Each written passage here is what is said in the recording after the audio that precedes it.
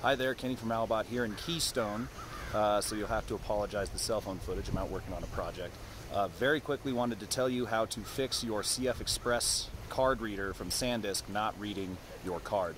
Um, I had the same problem and it took me like a week to troubleshoot. A lot of phone calls with SanDisk, a lot of phone calls with Canon, went up to Canon Burbank. We tried a couple other readers. Those readers worked. Here's the solution. You just got to hold the card in like against the spring for maybe a second, two seconds, and then the uh, computer will read it.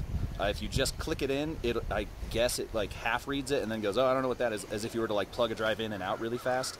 Um, so I guess it's the spring mechanism that is at fault. But in any case, just hold it in there for a second, and then you can let go once the folder pops up or whatever.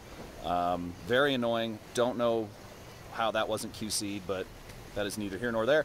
Uh, talking to Canon, they did say that it is a batch issue, and so SanDisk going forward should be shipping better readers. So hopefully, if you watch this, that's not a problem anymore. But there you go. There's the solution. Um, I'm going to get back to work.